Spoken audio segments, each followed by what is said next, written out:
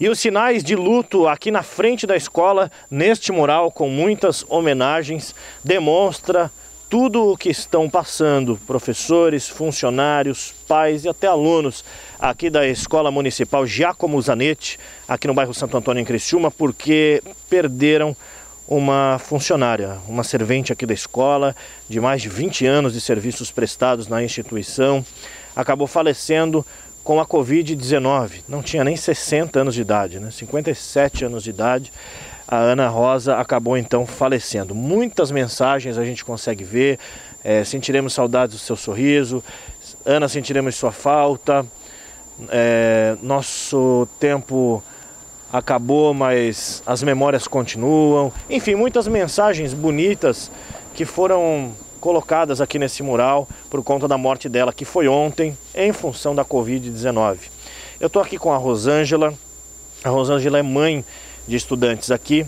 Até tinha mais gente que gostaria de falar, né? mas com medo de de repente uma retaliação, algo nesse sentido, eles não falaram, não vão dar entrevista. Conversamos fora do ar aqui. Essa escola tem quase 400 alunos no total e está todo mundo de luto aqui, né? O, o clima é esse, essa é a palavra, de luto.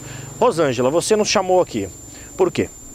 Eu chamei vocês aqui porque eu achei assim uma falta de respeito, um descaso com o que aconteceu com a Ana. Né? A Ana contraiu Covid, não foi só ela aqui nessa escola que contraiu, a diretora contraiu, pessoas da secretaria aqui da direção contraiu, professora, né? Inclusive a minha neta está afastada do, da escola faz duas semanas porque a professora está com Covid certo? Então, assim, ó, eu achei um descaso, uma desumanidade deixar a escola aberta com uma pessoa que se dedicou a 21 anos trabalhando aqui dentro, tá? Achei um descaso. A família está inconformada, assim como nós também estamos inconformados, né? Então, ela era muito querida por todos aqui dentro dessa escola, fora da escola, ela era uma pessoa maravilhosa e a gente não aceitou isso. A escola continua aberta, tá? Ela foi falece, veio a óbito ontem, foi enterrada hoje pela manhã. E nem os companheiros de trabalho puderam acompanhar, puderam ter o seu momento de, de tristeza, de sei lá. De luto, viver o luto. Luto, não, tem, não sei nem como, como te explicar, sabe? Porque a Ana era uma pessoa muito, muito boa. Eu vinha na escola, ela dizia para mim: te cuida, te cuida. E eu me cuidei, e no fim ela foi ela se foi. A gente está muito revoltada porque só tinha 57 anos. Outra coisa, a diretora, a diretora vieram aqui para colocar a diretora, a diretora Andréia para a rua. Só que no dia que vieram, a diretora Andréia também estava com Covid, estava de atestado que estava com Covid. E nós não aceitamos a saída da Andréia porque é uma pessoa competente, trabalhadora, ela batalha pelos alunos, ela batalha por todo mundo aqui. Então a gente não aceita, nós vamos fazer abaixo assinado para que a Andréia permaneça aqui com a gente. Tá? Eu não tenho mais filho aqui, eu tenho netas, eu tenho netas aqui dentro. Tá? Então meus filhos estudaram aqui, meus sobrinhos, e agora eu tenho netas aqui. Então eu acho, achei assim um descaso. Fecha a escola, gente, pelo menos para as amigas poder, né, passar aquele momento assim de tristeza. Tu chega aqui dentro, é uma tristeza, é, é servente chorando, é professora chorando. É, olha, eu não tenho mais palavras para te falar, sabe? Porque eu não sei mais te dizer assim, ó, o que era Ana. Não tenho, porque a, a Ana era uma pessoa que, Senhor, que Deus receba ela de braços abertos, porque ela merece. Então hoje eu conversando com a irmã dela, a irmã dela mais nova, aí ela falou para mim, meu Deus, será que a minha irmã não valeu nada para essa escola? Ela não contribuiu com nada? Para ele simplesmente continuar deixando a escola aberta? Inclusive, tem uma irmã dela que está internada no Hospital São Donato também com Covid. A irmã da Ana, certo? Então assim, ó gente, pelo amor de Deus, fecha a escola, higieniza a escola. Porque enquanto não higienizar isso aqui, isso aqui não vai vir mais aluno, tá? Não vai ter mais aluno aqui nessa escola. Ninguém é. tem coragem de mandar filho. Não, eu não mando, né? Eu já falei mesmo hoje, eu não mando meus netos. E tem pais aí que gostariam de estar aqui dando entrevista, que hoje não estão aqui agora, por causa que não querem ficar na aglomeração, tu entende, né? Mas eh, era tudo que eles queriam estar aqui agora. Porque são vizinhos dela. Ela morava aqui nessa rua aqui em cima né? Então uma pessoa que estava sempre aqui no trabalho, sempre se dedicando, sempre tanto com as crianças, com nós todos aqui, até com os pais e, e avós e, e tudo, ela era uma pessoa maravilhosa.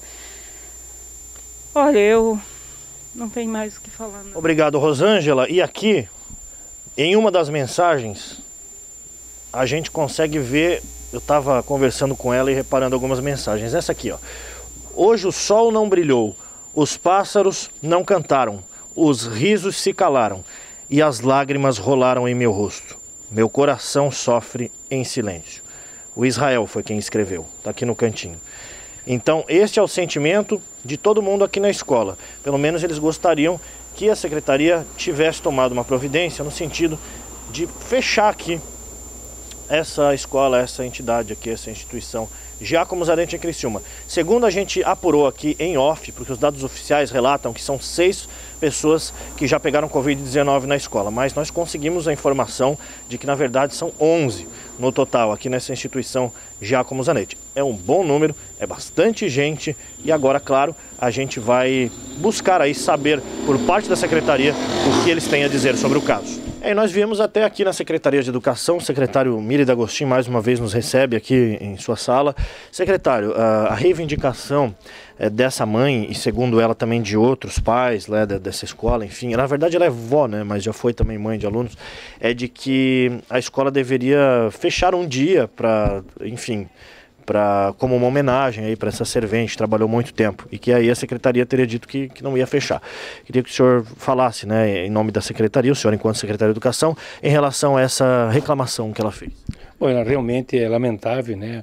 Um momento muito difícil para a Secretaria de Educação e está doendo o governo da cidade de Criciúma, um momento de muita tristeza, se passando por essa situação de uma morte pelo Covid. Sabemos nós, né, que é de, de suma importância para a cidade de Criciúma essa situação.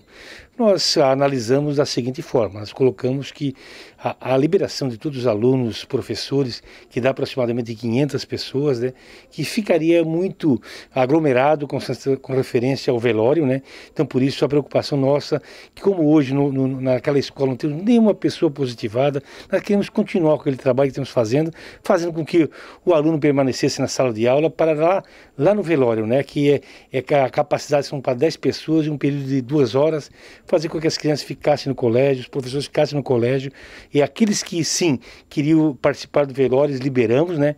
Mas acima de tudo temos a responsabilidade de dar continuidade àquele trabalho que vemos fazendo do enfrentamento ao Covid. Então por isso nós, o governo da cidade de Cristina, achou por melhor não suspender as aulas.